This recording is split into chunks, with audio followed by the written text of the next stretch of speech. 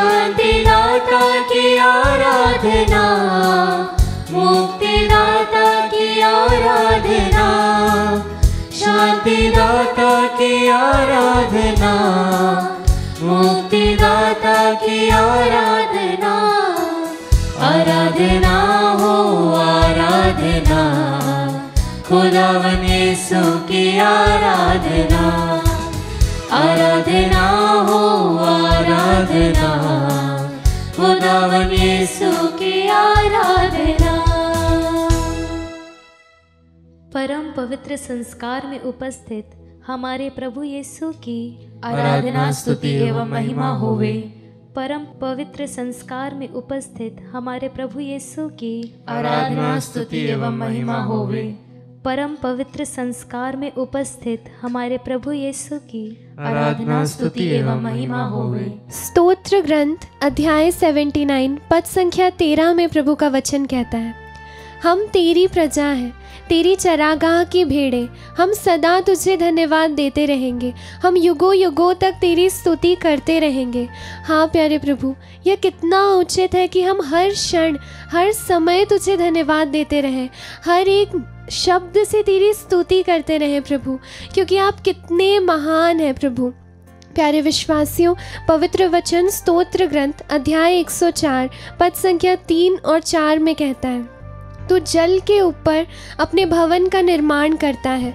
तू बादलों को अपना रथ बनाता और पवन के पंखों पर चलता है। बोलिए हाले लुया प्रभु यीशु की स्तुति हो। प्रभु यीशु की स्तुति हो। प्रभु यीशु को धन्यवाद। प्रभु यीशु को धन्यवाद। पवित्र आत्मा की स्तुति हो। पवित्र आत्मा की स्तुति हो। पवित्र आत्मा को धन्यवाद। पवित्र आत्मा को धन्यवाद। पिता ईश्वर की स्तुति हो। पिता ईश्वर की स्तुति पिता ईश्वर को धन्यवाद। पिता ईश्वर को धन्यवाद। प्यारे विश्वासियों, पवन पर चलने वाला ईश्वर, पवन को अपना रथ बनाने वाला ईश्वर, इतना महिमामय ईश्वर जिसने इस पूरी सृष्टि को अपने शब्द मात्र से रचा है, वो आज हमारे सामने उपस्थित है। आइए हम उसकी स्तुति करें, उसकी आराधना करें और अपने हर एक शब्दों के द्वारा, अपने विचारों के द्वारा, अपने हर एक कामों के द्वारा उसकी स्तुति करें, क्योंकि वह इसके योग्य है। हमारा प्यारा ईश्वर पूरी तरह से प्रेम से परिपूर्ण है। वह एक प्रेममय ईश्वर है। कितना उचित है प्यारे विश्वासियों कि हम अपने कंठों को खोल कर उसकी स्तुति करें उसकी आराधना करें। आइए आज हम प्रभु से कहें कि प्रभु हम आपके करीब आना चाहते हैं। जिस प्रकार संकट के समय आप हमें अपने पंखों के भीतर छिपा लेते हैं प्रभु उसी प्रकार हम चाहते हैं कि आप निरंतर प्रभु हमें अपने हृदय के पास रखें। निरंतर आपके करीब रहना चाहते हैं प्रभु। आइए प्यारे विश्वासियों इस सुंदर गीत को गाते हुए हम प्रभु की स्तुति करें। जहाँ मैं जाऊँ तेरी आराधना. हो।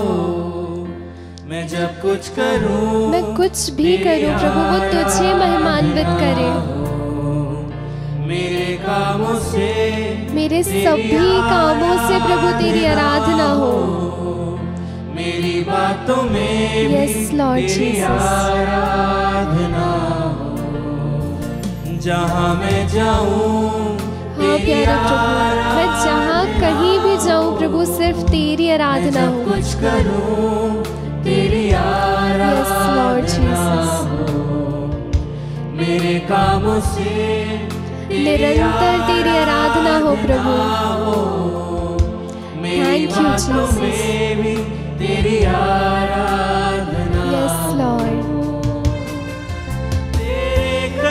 हाँ प्यारे प्रभु तेरे करीब बढ़ना चाहता हूँ प्रभु।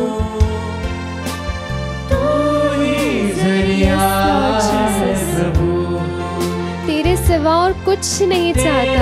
सिवा मैं कुछ ना चाहूँ। यस लॉर्ड जीसस सिर्फ़ तुझे चाहता हूँ प्रभु। यीशुआ तेरी निरंतर प्रभु तेरी आराधना हो। हमारे हर एक शब्दों के द्वारा तेरी आराधना हो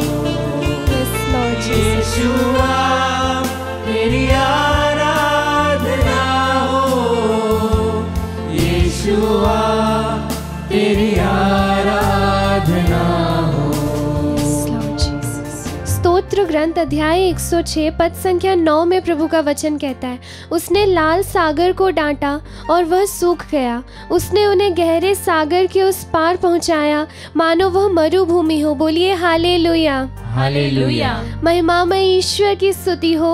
महिमामय ईश्वर की स्तुति हो। महिमामय ईश्वर को धन्यवाद। महिमामय ईश्वर को धन्यवाद। प्यारे विश्वासियों जिसकी आज्ञा समुद्र तक मानते हैं उसकी एक वाणी सुनकर जब समुद्र भी सामने से हट जाते हैं जब सभी शिष्य तूफ़ान को देखकर डर गए थे और प्रभु यीशु को जगाते हैं तो प्रभु यीशु तूफ़ान को डांटते हैं और तूफ़ान भी उनकी बात मानते हैं। आइए प्यारे विश्वासियों उसी ईश्वर की हर एक सांसों में स्तुति करें, हर एक विचारों में भी उसकी स्तुति करें। स्तोत्र ग्रंथ अध्याय 144 पद संख्या तीन में प्रभु का वचन कहता है, प्रभु मनुष्य क्या है जो तू उस पर ध्यान दे? आदम का पुत्र क्या है जो तू उसकी सुधी ले? मनुष्य तो श्वास के सदृश है, उसका जीवन छाया की तरह मिट जाता है। हाँ प्यारे प्रभु, मनुष्य का जीवन कितना नगण्य है, परंतु जब हमारा प्यारा ईश्वर जब खेतों की घास का भी इतने अच्छी तरह ध्यान रखता है तो हमारा ईश्वर हमारा कितनी अच्छी तरह से ध्यान रखेगा जिसे वह अपने स्वयं का पुत्र कहकर पुकारता है। प्यारे विश्वासियों आइए हम उस ईश्वर की स्तुति करते हुए फिर इस गीत को गाएँ। मेरी सांसों से तेरी आराधना हो। यस लॉर्ड मेरी रूह से रूह से भी तेरी आराधना हो प्रभु। ख्यालों में से हर तेरी एक विचारों में तू रहे प्रभु। हो।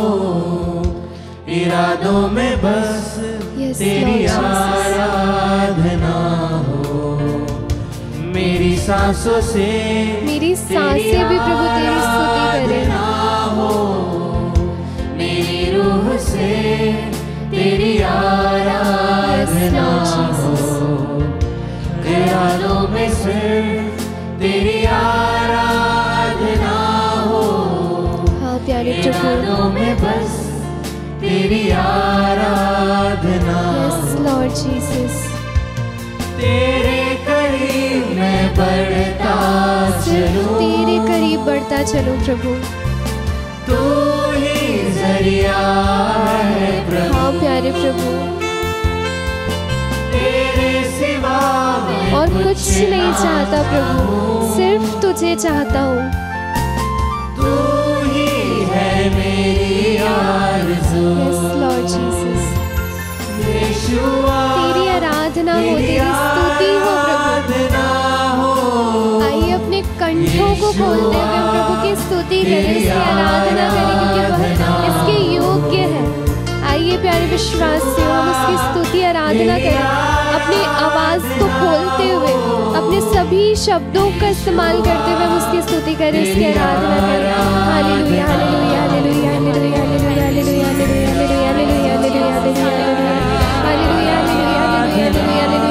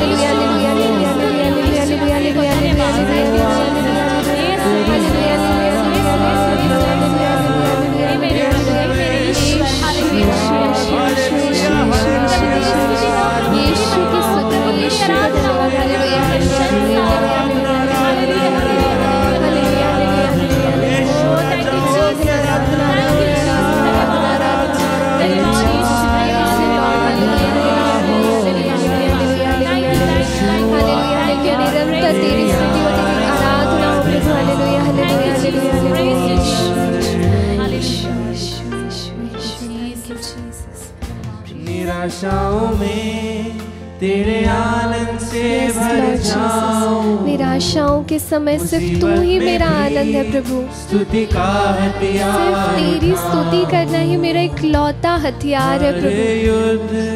तेरा नाम लेकर मैं गाऊं। प्यारे प्रभु। जयवंत हूँ। सिर्फ़ तेरी जय जयकार चिल्लाऊं। प्रभु यस लॉर्ड यीशुआ निरंतर तेरी आराधना हो। तेरी स्तुति ही मेरा स्तुति ही है तेरी आराधना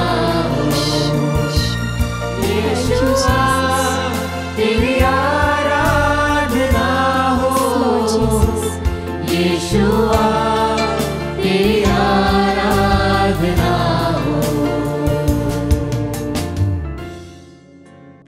प्रेज लॉर्ड क्रिस में प्यारे भाई और बहनों, आज हमारे लिए मनन का विषय सन्मति के सुसमाचार से है। अध्याय उन्नीस पर संज्ञा सोलह से लेकर। एक व्यक्ति ईसा के पास आकर बोला, गुरुवर, अनंत जीवन प्राप्त करने के लिए मैं कौन सा भला कार्य करूँ? ईसा ने उत्तर दिया, भले के विषय में मुझसे क्यों पूछते हो? एक ही तो भला है। यदि तुम जीवन में प्रवेश करना चाहते हो तो आज्ञाओं का पालन करो। उसने पूछा, कौन सी आज्ञाएँ? ईसा ने कहा हत्या मत करो, व्यभिचार मत करो, चोरी मत करो, झूठी गवाही मत दो। अपने माता पिता का आदर करो और अपने पड़ोसी को अपने समान प्यार करो। नवा युवक ने उनसे कहा, मैंने इन सब का पालन किया है। मुझमें किस बात की कमी है? ईसा ने उसे उत्तर दिया, यदि तुम पूर्ण होना चाहते हो तो जाओ अपनी सारी संपत्ति बेचकर गरीबों को दे दो और स्वर्ग में तुम्हारे लिए पूंजी रखी रहेगी। तब आकर मेरा अनुसरण करो। यह सुनकर वह नवा युवक बहुत उदास हो गया, क्योंकि वह बहुत धनी था। भाई और बहनों, आजकल, इन दिनों में, काफ़ी दिनों से, हमारे देश में एक शादी चर्चा में है। शादी ही नहीं, शादी का आडंबर चर्चा में। ऐसा है कि शादी खत्म ही नहीं हो रहा। एक कार्यक्रम खत्म हो गया, दूसरा चालू हो गया, तीसरा चालू हो गया, और हमारे मीडिया के सभी लोग तमाम चीज़ों को हमारे सामने परोसते जा रहे हैं। एक प्रकार आडंबर देकर इंसान भी ऊब जाने लगे हैं। ये सब ऐसे एक देश में हो रहा है, जहाँ पर सब लोग भरपेट भोजन नहीं कर पाते। कहा जा रहा है, इसमें पाँच हज़ार करोड़ खर्च हो गया। कहा जा रहा है, इसमें दस हज़ार करोड़ रुपए खर्च हो गया। कहा जा रहा है कि संपत्ति की तुलना में बहुत कम पैसे खर्च हो रहा है। प्यारे भाई और बहनों, ये सब हमारे देश में, जहाँ पर हमारे सभी सिटीजन्स को, सभी नागरिकों को भरपेट खाना यहाँ पर प्राप्त नहीं होता है। ये देखकर बड़ा दुख होता है। उससे ज़्यादा हमारे सोशल जस्टिस पर मुझे बड़ा आश्चर्य होता है।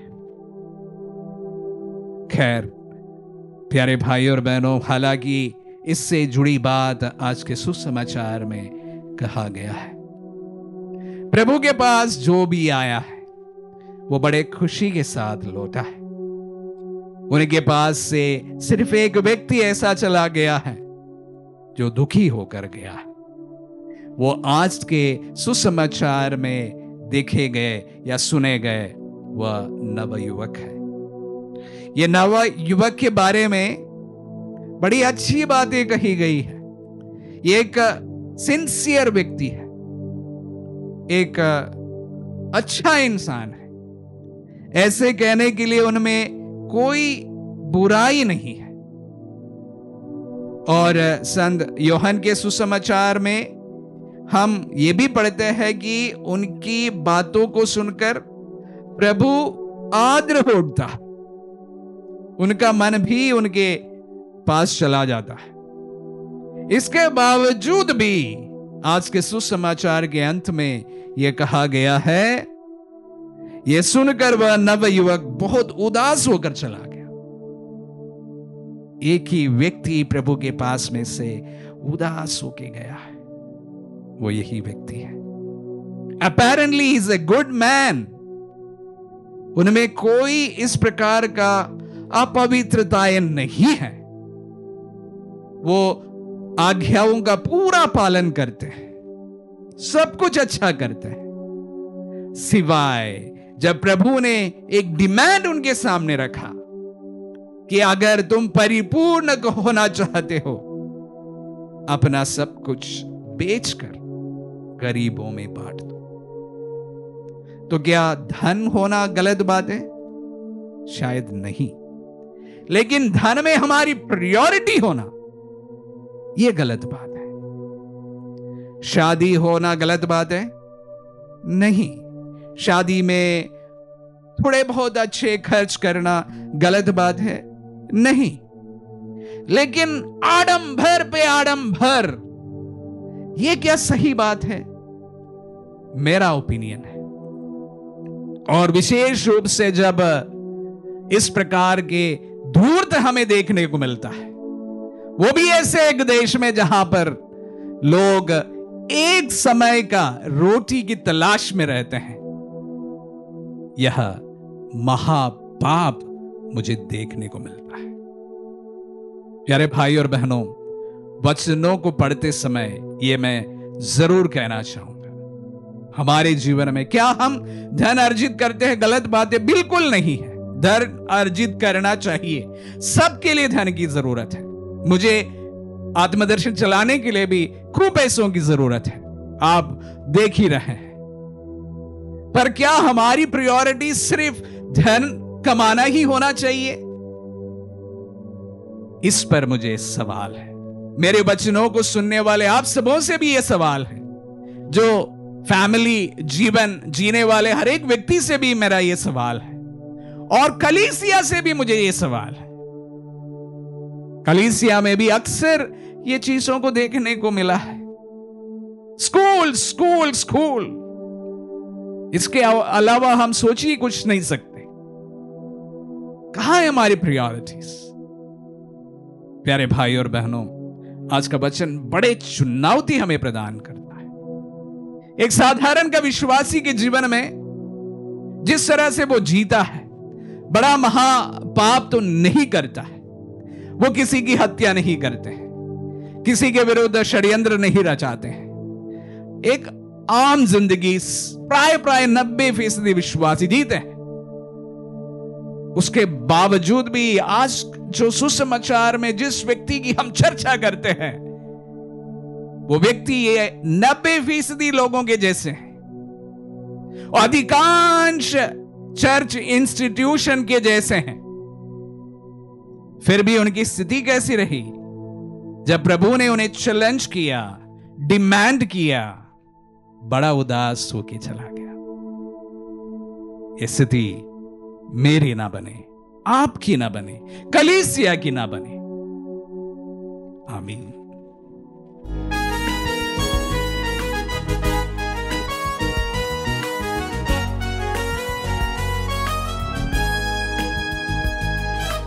तेरा लहू बड़ा कीमती है प्रभु।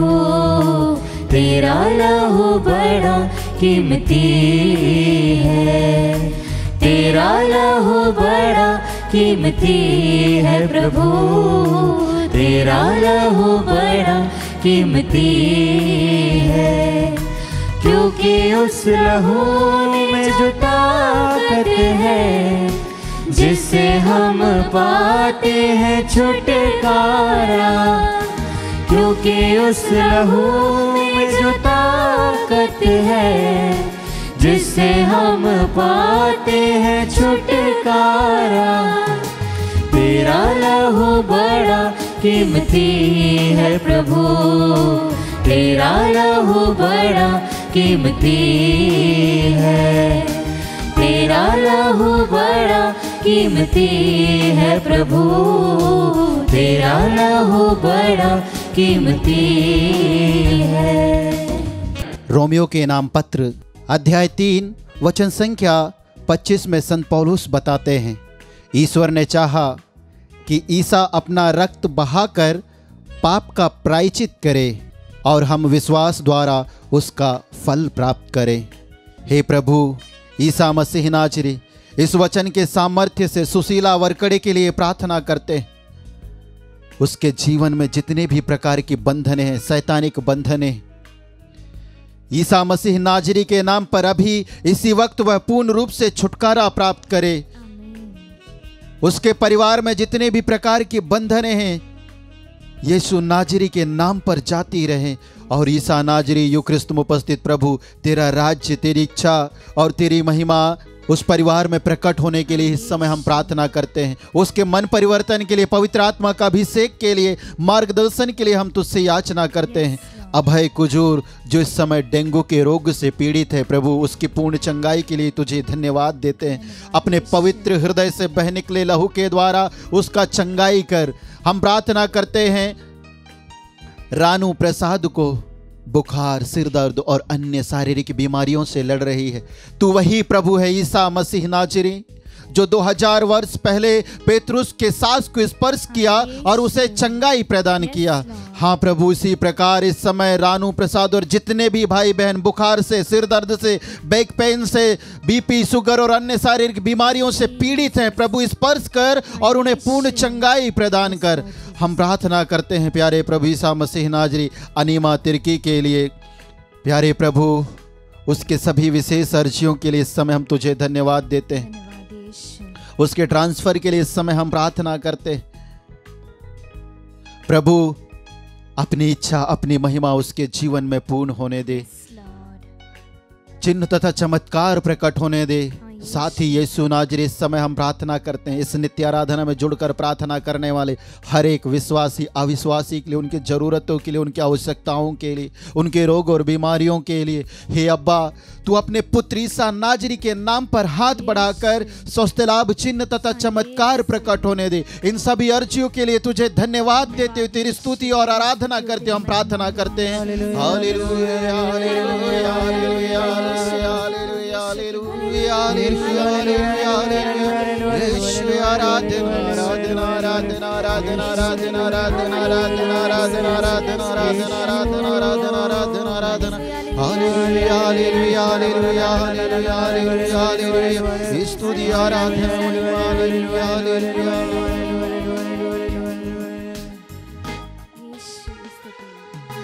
तूने वो लहू बहाया है। को बचाया है। तूने वो लहू बहाया है। सारी दुनिया को बचाया है। कभी तूने किसी से न कुछ मांगा। कभी तूने किसी से न कुछ चाहा। कभी तूने किसी से न कुछ मांगा कभी तूने किसी से न कुछ चाहा। मेरा लहू बड़ा कीमती है प्रभु तेरा लहू बड़ा कीमती है तेरा लहू बड़ा कीमती है प्रभु। तेरा लहू बड़ा क्रिस्त में प्यारे विश्वासी भाई और बहनों इफिसियों के नाम संत पौलुस के पत्र अध्याय एक, वचन संख्या पाँच और से सात तक हम पढ़ते हैं। वचन कहता है, उसने प्रेम से प्रेरित होकर आदि में ही निर्धारित किया कि हम ईसा मसीह द्वारा उसके दत्तक पुत्र बनेंगे। इस प्रकार उसने अपनी मंगलमय इच्छा के अनुसार अपने अनुग्रह की महिमा प्रकट की। वह अनुग्रह हमें उसके प्रिय पुत्र के द्वारा मिला है, जो अपने रक्त द्वारा हमें मुक्ति अर्थात अपराधों की क्षमा दिलाते हैं। हाँ क्रिस्त में प्यारे विश्वासी भाई और बहनों, अब्बा पिता के प्रेम ने ही हमें प्रभु ईसा मसीह के द्वारा उसके पुत्र और पुत्रिया बनने का अधिकार दिया है। और वही प्रभु ईसा मसीह नाजरी ने अपने रक्त द्वारा जो हमारे लिए बहाया है, मुक्ति अपराधों की क्षमा प्रदान करता है। आज वही रक्त के सामर्थ्य से शक्ति से हम प्रार्थना करें। आइए हम अपने आप को हमारे रोगों को हमारी योजनाओं को हमारी पीड़ाओं को हमारे परिवारों को बाल और बच्चों को यीशु के पवित्र घावों में अर्पित करते हुए इस समय हम प्रार्थना करते हैं क्योंकि उसके घावों के द्वारा ही आज हमें चंगाई मिलेगी। प्रभु जी इस समय हम प्रार्थना करते हैं जॉन तिरकी को अर्पित करते हुए जोसेफ पन्ना को अर्पित करते हुए प्रभु जी तेरे घावों में अर्पित करते हुए इनके शारीरिक रोगों की पूर्ण चंगाई के लिए हम दुहाई देते हैं। फादर डेविस के लिए समय हम प्रार्थना करते हैं। उनकी स्पीडी रिकवरी के लिए तुझे धन्यवाद देते हैं। हे प्रोहितों के महाप्रोहित युक्रिस्त में उपस्थित ईसा मसीह नाजरी हम उन सभी प्रोहितों के लिए प्रार्थना करते हैं जो इस समय हॉस्पिटल में रोग सैया में हैं। और रोगों से पीड़ित हैं प्यारे प्रभु ईसा मसीह नाजरी। उनके रोगों को तू जानता है, हे पुरोहितों के महापुरोहित ईसा मसीह नाजरी। और तू ही वह महाप्रोहित ईसा मसीह नाजरी है जो चंगाई प्रदान करता है। अपने सेवकों को पूर्ण रूप से चंगाई प्रदान कर, ताकि वे तेरे पवित्र आत्मा के सामर्थ्य से, तेरे प्रेम से भरकर, तेरे वचनों की घोषणा निर्भयता के साथ, निडरता के साथ कर सके। हम प्रार्थना करते हैं। तेरेसा चिरियन को अर्पित करते हुए, चिरियन टीसी को अर्पित करते हुए, प्रभु उनके सभी शारीरिक रोग और बीमारियों से उन्हें चंगाई प्रदान कर, हम प्रार्थना करते हैं प्रभु धर्मदास को अर्पित करते हुए, थायराइड के रोग से पूर्ण चंगाई प्रदान कर, सीने के दर्द से पूर्ण चंगाई प्रदान कर, सांस लेने में जो कठिनाइयाँ और परेशानियों का सामना कर रहे हैं प्रभु, उससे उसे पूर्ण छुटकारा प्रदान कर। वचन कहता है, उसे किसी जड़ी बूटी या लेप से स्वास्थ्य लाभ नहीं हुआ, बल्कि प्रभु, तेरे मुख से निकलने वाले हर एक शब्द से हम भले चंगे हो गए। हाँ प्रभु ईसा मसीह नाजर इस वचन के सामर्थ्य से इस नित्य आराधना में जितने भी भाई बहन चाहे किसी भी लाइलाज रोगों से क्यों ना लड़ रहा हो एक शब्द कह दे अपना वचन भेज दे और वह पूर्ण चंगाई प्राप्त करे इन सभी अर्जियों के लिए आइए हम अपने दोनों हाथों को उठाते हुए स्तुति आराधना करते हुए हम प्रार्थना करें hallelujah hallelujah hallelujah hallelujah hallelujah hallelujah hallelujah hallelujah hallelujah hallelujah hallelujah चंगाई दे प्रभु अपने पवित्र लहू के द्वारा अपने पवित्र घावों के द्वारा यीशु आराधना आराधना आराधना आराधना आराधना। Hallelujah hallelujah hallelujah hallelujah hallelujah hallelujah hallelujah hallelujah hallelujah. स्तुति, आराधना आराधना आराधना। क्योंकि उस लहू में जो ताकत है, जिससे हम पाते हैं छुटकारा क्योंकि उस लहू में जो ताकत है, जिससे हम पाते हैं छुटकारा। तेरा लहू बड़ा कीमती है प्रभु। तेरा लहू बड़ा कीमती